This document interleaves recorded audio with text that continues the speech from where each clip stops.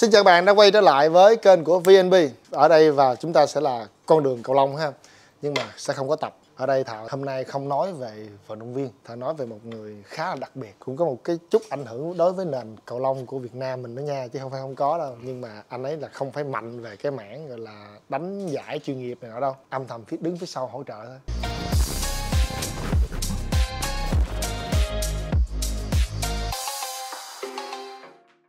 À, xin chào các bạn ha. Mình à, là Hiếu. Thì hiện tại là mình là chủ cửa hàng của à, Vinbi Bình Thạnh và Vinbi Bình Thạnh Premium. Là hai cái luôn hả? à, ừ, đúng rồi hay hay.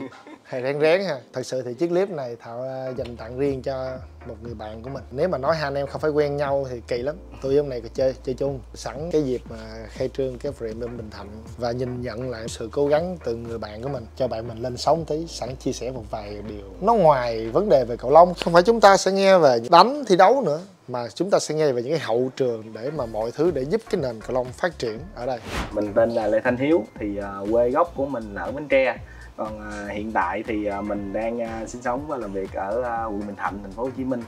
Thì uh, mình uh, biết và chơi cầu lông uh, từ lúc uh, chắc là Hiếu nhớ không làm là năm lớp 7 nên lớp 7 là đã bắt đầu chơi rồi nhưng mà kiểu là không phải học uh, chính thống như trường lớp như bây giờ mà mình được uh, đào tạo đâu.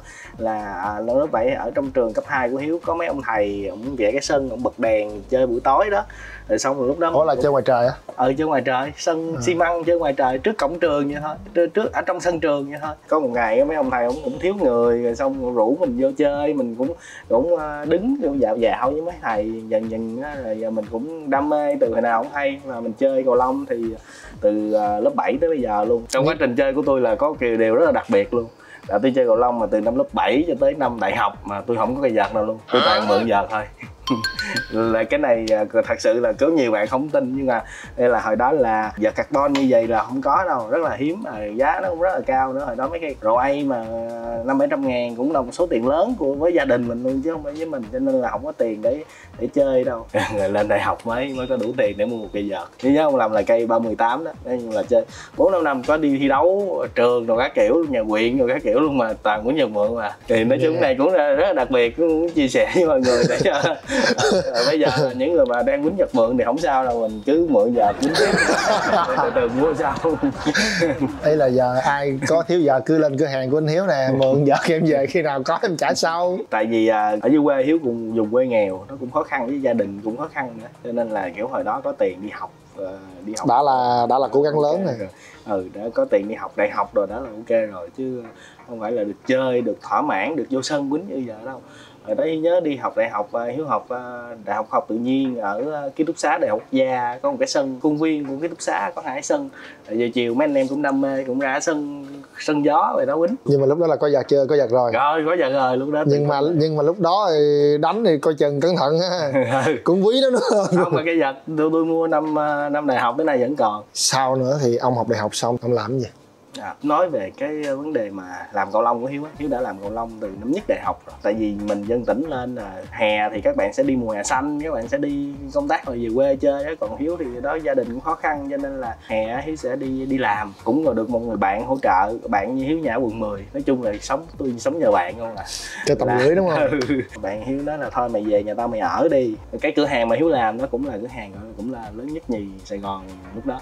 chung là cũng trộm vía cũng được đó thời điểm đó là được ờ, trả ờ, theo tiếng à hay sao? Đâu trả lương theo tháng luôn nhớ là tính là lúc đó là lãnh Năm- lương năm bao nhiêu? bốn triệu rưỡi à Năm bao nhiêu? 2010 2014 triệu rưỡi nhưng mà làm full time. Đúng rồi làm 12 tiếng ngày. Rồi nhớ tính 8 giờ sáng 8 giờ tối. À, 9 giờ tối. Đó là sáng 9 giờ tối. Là tôi nhớ là lúc đó tính ra lên lãnh được 4 triệu mấy xong ăn cơm tính ngày ờ, bữa hai hai lăm ba chục ngàn vậy à nghĩa là ông ăn cơm nợ à, ăn cơm phiếu. Thì đó ăn cơm nợ À. thì khi đánh lương thì sẽ trả. Tại tại Thì lãnh kế bên rồi bây giờ lãnh 4 triệu rưỡi ra. Rồi, rồi trời, đi- quá. trừ nhiêu gì từ hết tiền cơm chắc tầm đó- 3 triệu không à đâu tới lúc đó có triệu mấy à, À, hết triệu hồn. triệu hai triệu rưỡi gì à chứ làm một triệu rưỡi ăn hết 3 triệu chết luôn Ừ. thì lúc đó là cũng rất là mê cảm thấy lên Sài Gòn này là mình được đi đánh ở trong các sân á mình cảm thấy ở đánh ở sân nó chuẩn quá đánh nó, nó hay quá rồi không không cần anh cho anh gió hả ừ. rồi à, làm ở trong shop á, là mình lại đam mê vợt nữa kiểu mình mừng mình mân mê mấy cái vợt mình cầm mình sờ mó được nó rồi mình quấn cán đâu cho khách hàng rồi đó thường ở ký túc xá đâu có quấn cán đâu. Là kiểu hồi đó anh em là lấy cái khăn á xong rồi cắt ra rồi đúng quấn. rồi lấy cái khăn ra xong lấy cùng cái cùng dây cùng cước cùng cuốn cuốn cuốn quấn như cái đồ bánh tét á. Rồi rồi à, là là đâu có cước đâu có quấn cán đâu đâu. Nên lúc đó mình được thỏa mãn mình vừa được làm mình vừa có lương mà mình được chung thỏa mãn nói chung là được sờ vô những cái đồ đồ hiệu đồ hiệu về cầu lông của mình. Ừ, những cái mà kiểu mơ ước của mình. Với lại hiếu cũng được học căn vợt từ lúc đó luôn. Tính ra tuổi nghề mà đang bợt của hiếu là cũng năm nay cũng 14 15 năm 14 năm là hồi đó là mình đang một máy cơ. Đúng rồi đang máy cờ hiếu còn nhớ lúc bữa đầu mà quần cái vợt là là đang cái vợt đầu tiên nó đang hai tiếng đồng hồ mới xong. Rung. Rung. tại vì cái chuyện xỏ lưới đúng rồi cái gì cái gì cái chuyện xỏ lưới là nó là một vấn đề nha mọi người. Mỗi dòng vợt nó lại một có một cái kiểu ren khác nhau. Cái cây đầu tiên ông ông đang là cây dựng nhớ ừ, không nhớ nhưng mà cây vợt đó là cây vợt ờ, cũng thường à, À, cây vợt rồi, cô ok. ừ, cũng cũ rồi cô rồi đó nói chung là cũng xỏ lưới cũng hơi căng. À, rồi sau đó để vô máy cơ. Đúng rồi để vô máy cơ mà kiểu mình mới mình lộng cộng lắm cái cầm cái dùi cái cái móc á cứ rớt lên rớt xuống cái móc hoài à, rồi rung quá là rồi xong người ta đứng người ta người ta đang cái con chỗ đúng không không mình đi vòng vòng cái máy luôn mình đi bọn tôi nhớ là phải quay quay quay thì mình đứng Đúng chỗ rồi. quay đúng rồi à, không mình lúc đó mình đâu có biết đâu mình cứ thấy thế nào lệch là thuận là mình làm mà xong cái cái cái người chỉ mình đó chỉ xíu xong đi làm gì khác xong cái mình đó cái mình tự biên tự diễn luôn. Một cây vợt hai tiếng đồng hồ. Ừ. bây giờ ông đang có thời gian đó hai tiếng thì chắc ông bị đuổi sớm luôn á.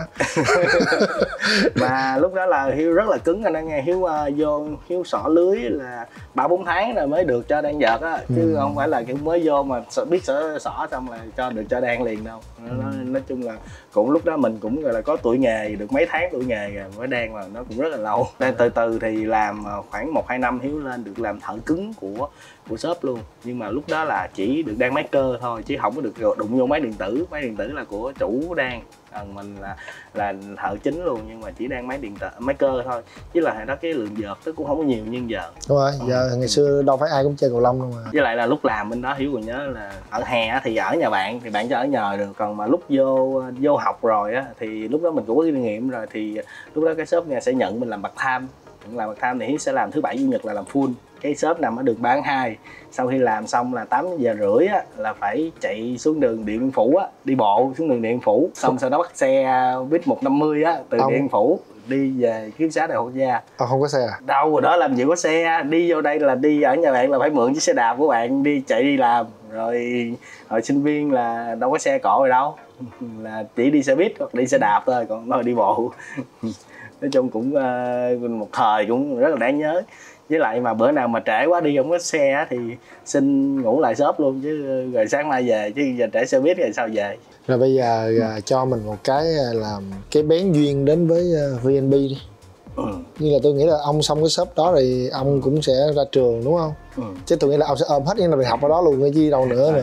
Là à, hiếu cũng làm ở đó tới năm tư. Năm tư là đi thực tập rồi đó thì mới bắt đầu nghỉ và VNB đến là cũng một cái duyên tình cờ rất là tình cờ. Thì tại vì là hiếu lúc đó mình mới tốt nghiệp mà mình cũng rất là ngu ngơ. Mình cũng nghĩ là tại vì hiếu học kỹ sư hiếu học về điện hiếu học chuyên về PLC lập trình rồi đó. Ừ. nhưng mà hiếu nghĩ là bây giờ mình phải học ờ, ra làm á là mình phải học kinh doanh mình làm kinh doanh. Tại vì kiểu ông bà nói phi thương bất phú à. Nên là lúc đó là xác định luôn là là ra trường là hiếu sẽ đi kiếm một cái chỗ nào đó để học kinh doanh chứ hiếu không đi làm theo đúng chuyên ngành của mình. À, rồi à, cái vô tình bữa đó là đang bảo vệ khóa luận luôn. Cái thằng có một thằng bạn thằng bạn nó, nó gọi điện cho hiếu. Nên nó là ở bên chỗ Vinb này đang tuyển người nè là tuyển cho shop gò vấp. Thì lúc đó hiếu gọi hiếu gọi hiếu gặp anh Tuấn Anh làm khóa luận xong là hôm sau là đi làm luôn. Lúc đó ở trọ quận 8 xong chạy qua tới gò vấp là xe buýt. Không chị lúc đó có xe rồi cuối năm tư rồi có à, xe ok, rồi ok, ok, Còn ok. gia đình mua chiếc ủa xe nhưng mà ủa nhưng mà khoan từ từ Ừ. quận 8 ừ. Chạy xe qua gò vấp. Ừ, làm. Đi làm. Ừ. sau đó chạy xe từ gò vấp về quận 8 ừ. nói chung là lúc đó mình cũng ngây ngô lắm mình cũng không có tính ờ, bán tiền xăng cộ gì đâu. Rồi xong làm được ờ, ba bốn tháng vậy đó thì ờ, mấy anh em mới chuyển trọ qua Tân Bình ở. Thì lúc đó đi làm nó gần hơn. À, chưa cái nói tới cái chuyện mà ở á, là tôi còn à, gian truân lắm. Là là ở bên Tân Bình được mấy bữa thì à, được mấy tháng á, thì kiểu anh em tốt nghiệp đại học xong hết rồi thì mỗi người cũng một, một cũng tan đàn sẽ nghé hết cũng không có chỗ ở. Cái xong lúc đó là nhớ có cái sân Thảo Lan á sân Thảo Lan ở ngay chỗ đường Nguyễn Oanh. Ờ, sao nó dẹp rồi. Ờ đúng rồi là nó dẹp. Tôi còn nhớ là tổ chức đúng một cái giải Vinbi xong rồi là tôi ngủ ở sân Thảo Lan luôn là được cái anh chủ đó anh cho ngủ nhờ ngủ nhờ đó cũng ờ, gần năm gần năm là cho ngủ nhờ nhờ tuần hai tuần chứ ông cái năm với ông thì được cái mình ngoại giao tốt mà. Ngoại giao tốt cho nên nghĩa là ông sẽ phụ canh sân. À phụ canh sân rồi Dọn về hỗ trợ rồi dọn à, dẹp. ừ, nghĩa là ban ngày thì đi làm ở shop xong rồi về phụ canh sân. Ừ, rồi à, à, cũng khách về hết thì tắt đèn tắt quạt rồi ngủ ở sân. À, ở đó thì có thằng em nó cũng làm việc chính ở đó cho nên về mình cũng phụ thôi. Rồi Ừ. dạy cho thằng em nó đánh cầu rồi cũng ờ, vui vẻ bình thường thôi. Ở đó nó có phòng không hay là sao? Có cũng có cái phòng rồi xong có cái giường tầng và À, nhớ cái ok, ok. đó là à, hai anh em thì cũng người tầng chân đến giải tán. Rồi xong rồi mới mới về bên chỗ anh Tuấn Anh anh à, ở với ảnh cũng à, tới là ở đâu? năm. Ở đâu? Ở bên à, Lê Đức Thọ rồi Bắc nhà hay sao? Ở ở nhà ở nhà ở ở khu trọ của của nhà ảnh. À khu trọ. Nói chung là anh cũng tạo điều kiện cho cái phòng Đúng rồi. ok. thì nói chung là cảm ơn ảnh nói chung là anh thấy anh cũng tạo điều kiện nhiều đúng không một thời gian là ông đang làm lính thì cái cơ duyên nào để ông có thể ra được một cái shop? Ừ đó cũng là một câu chuyện cũng khá là dài.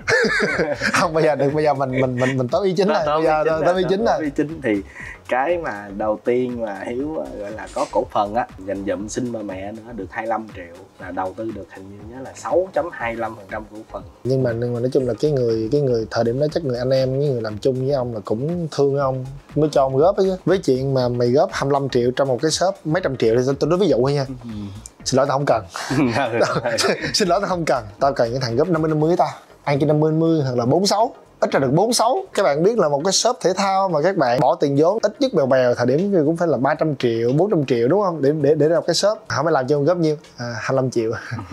Ví dụ giờ cái tháng đó mà ví dụ giờ bán được khoảng ờ, tiền lời tôi, tôi nói ví dụ thôi mà cái tháng đó là lợi nhuận được khoảng 100 triệu đi thì nghĩa là ông được nhiêu? 6 chấm. triệu. À. nhưng mà không có được đâu. không thì tôi, tôi nói ví dụ thôi là ông được 6 triệu. nghĩa là được 6 triệu Ừ. nhưng mà không được 100 triệu thì ông cái mức sẽ còn dưới mức 6 triệu nữa. À, lúc đó các shop là cũng đâu có được phát triển như bây giờ đâu thì nó Ừ. thu nhập đồ nó cũng ờ, gọi là có thôi. Với anh Tuấn nói chung là làm nhanh Tuấn Anh anh tạo điều kiện. Đó, rồi ờ, tới cái ờ, shop thứ hai là không phải shop thứ hai nữa mà xong cái đó giải tán cái đó giải tán cái đó xong rồi anh Tuấn Anh anh tạo điều kiện luôn là anh cho cho Hiếu với lại Bảo rồi bắp á, là cho hai một người bạn đúng không? Ờ, là một người bạn cũng làm chung VNB đầu tư nguyên cái shop luôn đó là shop ờ, đầu tiên là VNB Tân Bình. Đi làm mà lương đi làm cầu lông thì lương cũng được sáu bảy triệu thôi chứ năm sáu triệu thôi thời gian đó năm sáu triệu. Nhưng mà thì cho nên là đâu có cơ hội để mình có được cái shop đầu tư như giờ chung thời điểm đó là chắc ông chả dám ăn xài ăn khí khô rồi. đúng rồi cũng tại vì cái thời điểm mà tôi gặp ờ, ông bạn này đầu tiên thì nhìn ông này khá là hiền. Nhưng, nhưng mà không phải mặc như bây giờ nha mọi người. Nhơ mà Ừ, đó, ốm nói đó. ốm ốm nhơ mà. Nói nói thì cũng cười á và đặc biệt là nhậu rất dở nghĩa là sau một quãng thời gian ông đủ ông đủ ngành đủ nghề đủ mọi thứ hết. Ông suy nghĩ sao mà khi ông, ông dám mở cái bình thạnh? Cái lúc đó là kiểu mình cũng có đi vay nha. Đi vay đi kiểu đi vay tính chấp á. Đi vay tính chấp là nó lãi hơi bị cao. á. Khoảng tầm hai mấy phần trăm một năm lận á. Đúng rồi. Rồi thời điểm mà lần đầu tiên mà tự tay làm cái bình thạnh đó từ A tới Z à? À, là để, để kể làm cái shop đó là đâu có dám thuê thợ để co rồi hàng sắt đâu như giờ đâu. Ủa ông kỹ sư điện mà thì đó thì mình tự làm. Mình đi ra mình mua gỗ mình mua sắt về mình tự bắn vô tường mình tự làm cái kệ dợp rồi bằng gỗ là tự làm hết. Hiếu với ba hiếu lên tự làm. Thì lúc đó nói chung là mình mình là làm nhưng mà mình không có chuyên môn làm nó cũng không được đẹp lắm không được ok lắm. Nghĩa là Mà cái là cái bình thạnh mọi thứ cái bình là thạnh hiện tại luôn?